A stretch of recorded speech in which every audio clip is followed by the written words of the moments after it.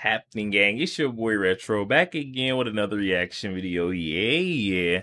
Today we got another huge update, guys. We're coming on that New York hush money trial of Donald Trump's, guys, and things are starting to hit the fans. We're now seeing, you know, outrage coming from the left, um, figures of the left now speaking out um, against Judge Merchan and that corrupt district attorney Alvin Bragg, um, and what they've been trying to do to Donald Trump. You know, it's clearly not right and they have to speak out. People are not able to you know sit by and let this happen for much longer. We're getting you know outrage not only from the right now we're getting from the left. I'm excited to get in this clip and see exactly what's going on who's making the noise. We're gonna get straight into the clip and i'll get my thoughts on the back end of the video guys. So definitely stick around to the end. So guys get my thoughts on the back end. And also youtube push this video out. Definitely stick around until the end you guys. But let's get straight into it. Before we do that though make sure you guys hit that like button for me and also hit that subscribe button guys. We're on the road to the truth hop aboard for the journey. Let's get into it, y'all. Trump's New York trial continues. I'm going to prove to you why this whole thing is a scam. Many times using Democrats' own words, like Geraldo Rivera, who has a Geraldo 2.0 experience, turning against his anti Trump ways and now re embracing his friend. Welcome to Doug in Exile. I'm Doug TenNapel. This is where the happy patriots are, making the case for Trump's innocence in New York all day, all night. And this is easy. I can do this in my sleep. Watch. I think it's pretty extraordinary for in the very first jury pool, before you interview anybody, half of the jury pool already says they're so biased against President Trump that they can't serve on the jury. That's just the normal population of New York. Over half have dismissed themselves, saying, I can't see past my hatred of the guy. That's my first case. I hope you guys have subscribed if you like this stuff. Let's go. Here's Donald Russo, one of the guys I kind of dig on Twitter or on X. Trump got 14.5% of the vote in Alvin Bragg's district in 2020. So we're trying to get 14% of that district to be on the jury pool. So if they get 500 people to choose from, they should be able to find 12 maybe, or six, you know, that ought to be enough to find one, maybe two jurors who will hang the jury. Good voir dire. Oh, that word, I can't even say it. And jury selection is the key. The Trump jurors can even vote for a misdemeanor, not a felony. See Glover rule. Now, I am not for the misdemeanor uh, uh, uh, for Trump to accept that at all. I think he should fight this and not give him that. I don't want the Trump, the president, to have a misdemeanor on his record either. But the main thing is that it only takes one or two to hang this jury, and then Trump is off. They need to get them all in there. Now, here's uh, the margin was still wide though, with Trump winning 61.6% of the Staten Island vote to Biden's 37%. So there, Trump was getting uh, a slightly better number, which is why they wanted to move it to Staten Island. But the judge said no. Biden won Manhattan by 84% to 14%. The Bronx, 82% to 17%. Brooklyn, 74% to 25%. And the Queens from 69% to 30%, while Biden improved on Clinton's margin. So Trump is, you know, if he's winning like worst case in Manhattan, 14%, you got to try to get just one or two jurors to hang that jury and say we will not vote guilty for Trump uh, on uh, on that Judge Merchan court.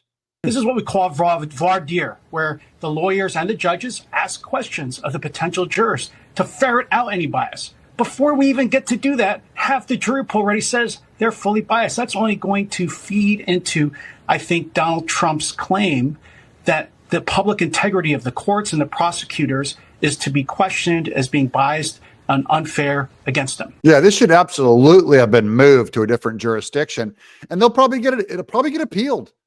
Trump's going to be found guilty, let's say, and they'll appeal it. They'll go, look, you knew you should have moved it. You knew it. Here's Donald Trump's posts on Truth Social he is reposting Geraldo Rivera. Why is Trump posting Geraldo Rivera, his one time friend who stabbed Trump in the back and said, I can't go with any of this election stuff because Trump is such a criminal? Geraldo Rivera is now defending Donald Trump. Ladies and gentlemen, another huge win.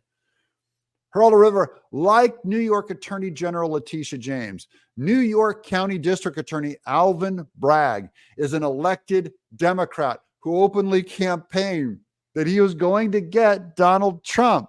Guys, Alan Dershowitz left the Democrat Party just this week. He said, I'm not a Democrat anymore. I quit. Uh, back to Geraldo. This lawfare is undignified, indeed un American. If I represented Trump, I would file a bar complaint for political activists to stoop to this level to make garbage precedent about the first criminal prosecution of a former president is shameful. Targeted persecution should not be part of our criminal justice system. This isn't justice. This is politics. Oh, Geraldo Rivera 2.0. He spent took a little time off from Fox News and they fixed him. But I went and checked his Twitter feed, and here's what the fans are saying about him. I'm a liberal and don't even know it. By the way, I'm an idiot. too. here's Greg Price on Twitter. In 2022, Manhattan DA Alvin Bragg reduced 52% of all felony charges to a misdemeanor.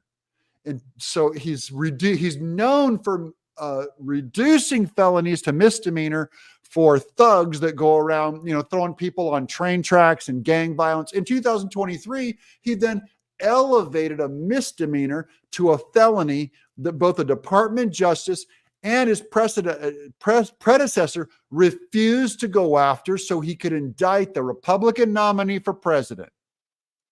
Today, Donald Trump will be in court because America is currently making Putin's Russia look like a free country. Thank you, Democrats. You're earning your reputation every second. But I got more. A lot of things having to do with this trial, including the DA, because you go right outside and people are being mugged and killed all day long, and he's sitting here all day with about 10 or 12 prosecutors over nothing. Yeah, the New Yorkers themselves know people are outside being mugged, and this is what Alvin Bragg is doing with his time. Get Trump. Here's a tweet or a, a meme about Merchan. This dirty judge put a gag on Trump so he can't talk about his corrupt family. But I can, we can on this show too. Spread the link around while we're at it. Get this word out. Trump has a gag order. We don't. His daughter has been paid $4 million by Adam Schiff. His daughter gets donations from her social posts showing Trump in prison.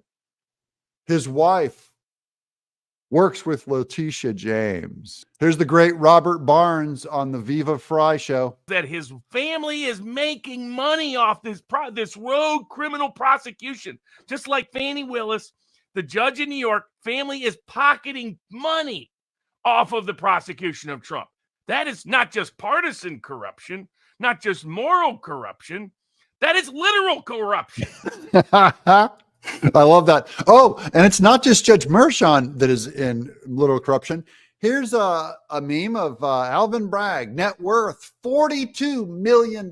His net worth was has grown 300% in the last, past five years. Hmm, same with Fani Willis, same with Letitia James. Why are they all getting rich? Where's the money coming from, everybody?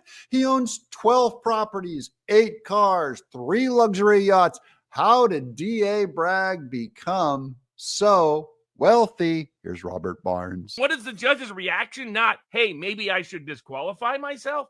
No, Gang. it's Trump. You better shut up and not tell anybody about it, or I'm going to put you in prison even before we go through trial. What a dirty, dirty anti family. They want to punish Trump. Some amazing things happened today. As you know, my son is graduating from high school, and it looks like the judge will not let me go to the graduation of my son, who's worked very, very hard. Uh, he's a great student. I'm very proud of the fact that he did so well. I was looking forward for years to have graduation with his mother and father there, and it looks like the judge isn't going to allow me to escape this scam. He's cruel for not letting Trump go to his son's graduation.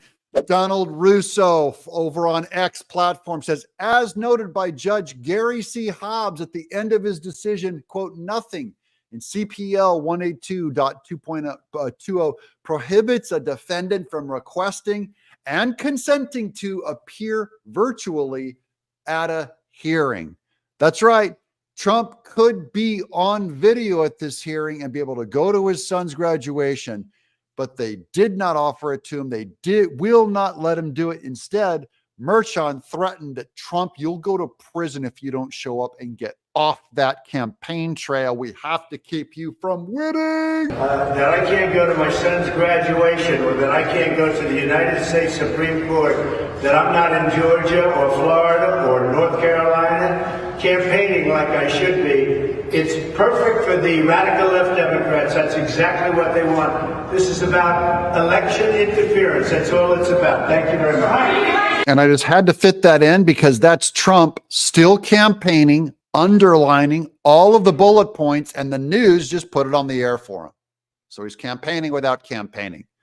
Here's Mollie Hemingway, the great one on X. Excellent point from uh, Steve Turley here. Uh, when DNC Hillary Clinton lied about the 2016 cam campaign funding of the Steele dossier, there was no cr criminal charges or media calls for accountability. We're just going to compare how the law is lowered for these criminal Democrats and for a Republican. Trump, uh, Trump farted. He needs the death penalty. But the Trump NDA gets charged. Rule of law destroyed from the New York Post. And here's Jonathan Turley, never Trumper. Boy, talk about a born again experience. Watch this guy defend Trump. In this case, you're taking this misdemeanor, reviving it because it was dead, suggesting a crime that doesn't exist, and then hitting Trump with dozens of counts. Most citizens, at least outside New York, see that for what it is. It's the weaponization of the criminal justice system. Yeah, New Yorkers can't see it for what it is as a weaponization of the criminal justice system because it's mostly Democrats, mostly psychos, mostly weirdos, mostly mental slaves to the state. Now, there's still free patriots there in New York. New York is one of my biggest conservative audience that watch this show. So my patriots are out there.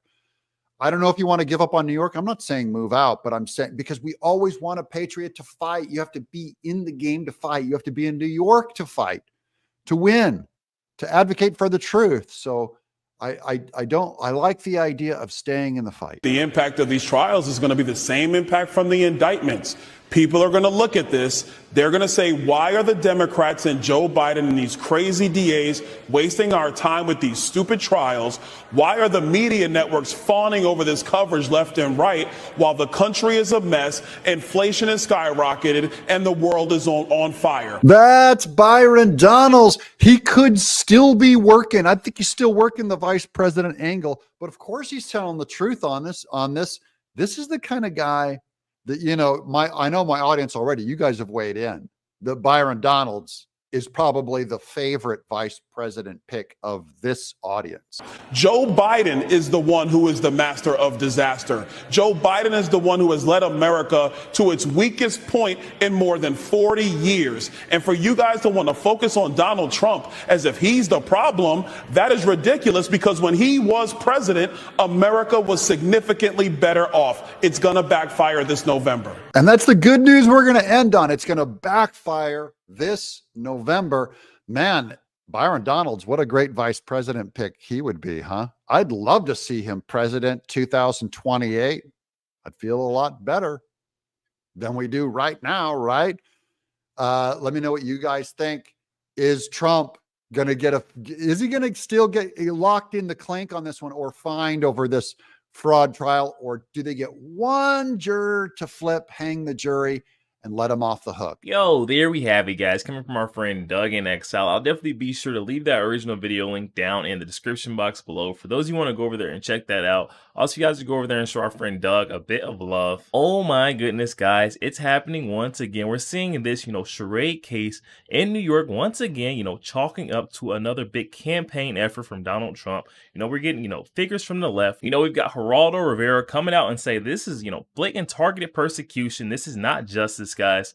Um, and you know it's bad when you know Donald Trump's ex-friend, those on the left are you know starting to say that this thing stinks, just like what happened with Letitia James and that corrupt judge Arthur Ingram. And this is the exact reason why we're seeing you know Donald Trump's legal team trying to get this case you know switched to a different jurisdiction, move to a different courts because they already know you know um, Alvin Bragg's district is so biased, so against Donald Trump. Their politics stands in the way of them making you know a clear decision and being impartial. That's why they're having so much trouble with the jury selection election, guys, because over half the people in the district are, you know, biased against Donald Trump to the point where they cannot make an impartial decision. But this whole thing is aiding in Donald Trump's favor once again, guys. Another one of these political witch hunts um, and charade cases that is, you know, bringing about, you know, mass media coverage um, and, you know, viewership from those who would never look away of Donald Trump, you know, try to see what's going on with him. But with the amount of cases, you know, in the headlines and mass media coverage that Donald Trump is getting for free, guys, um, you know, all these people are starting to look and try to figure out what's going on, diving deep into the case. And once they look at the case and very surface level information, you know, you don't need much on the case. You just look at the very basics of it. You'll start to see that this whole thing is political. This is nowhere near, you know, them trying to serve justice, um, you know, try to right or wrong that Donald Trump has committed. This is more so them trying to, you know, interfere with the 2024 election, you know, and bring down presidential candidate. I mean, come on now, guys. The facts are there. All these, you know, justices and these figures within these cases brought about against Donald Trump are, you know, aiding to enrich themselves um, and bring down that political opponent. With Judge Merchan, you know, and his family enriching themselves through the Democratic Party, you know, between his wife working with, you know, Letitia James and his daughter being Democratic funded. Then we've got that corrupt district attorney, Alvin Bragg, who has tripled his net worth, you know, it's time being a district attorney, guys. And we're trying to figure out where all this money is coming from, where all these justices um, and these entities, you know, are coming about all this money. It doesn't take much to realize that, you know, these justices are enriching themselves through these, you know, um, political offices where we're seeing all these district attorneys, attorney generals, you know, uh, special counsels coming after, you know, um, their political opponents or folks that they have personal interest within their case, you know, in order to, you know, bring about and in turn, these figures are able to, you know, enrich themselves um, and bring down their opponents through their office is not, you know, aiding injustice whatsoever. We're even hearing that, you know, District Attorney Alvin Bragg has been, you know, lessening um, felony charges over these years as a district attorney, you know, felony to a misdemeanor. And then in Donald Trump's case, you know, he is bringing those misdemeanors up, um, reviving this Frankenstein case, which further proves this to be, you know, a political witch hunt. This case was, you know, a misdemeanor, dead in the water. Next thing you know, we got DA Alvin Bragg, who was campaigned on, you know, bringing down Donald Trump, just like Letitia James, coming out of nowhere and saying that, you know, this is being upgraded from misdemeanor now to a felony. And, you know, Donald Trump will have to stand trial in this case. I mean, come on, guys. The signs are all there. And now the left is coming out, you know, outraged about what's going on with Donald Trump over in New York. The state of New York just won't let this guy go. They've got a vice grip on Donald Trump, you know, trying to bring down his, you know, election efforts and trying to make it so that it's virtually impossible, you know, for Donald Trump to make it to that seat of, you know, president later on this year unscathed without a stain on him. Definitely hop in the comment section, guys. Let me know your thoughts on this one. We're seeing Geraldo Rivera coming out, you know, speaking out against his persecution against Donald Trump. A lot of figures on the left are now starting to wake up and speak up, you know, using their platform and their voice to get the truth out there. We're seeing, you know, Alan Dershowitz hopping from the left to the right. I mean, come on, guys. The signs are all there. Definitely up in the comment section, guys. Let me know your thoughts. Also, make sure you guys hit that share button and share this out to as many Facebook friends as possible, guys. Share the truth. Also, make sure you guys hit that like button. It doesn't cost a thing. Hit that like button for your boy. And also hit that subscribe button, guys. We're on the road to the truth hop aboard for the journey. I'll catch you guys on the next one. We.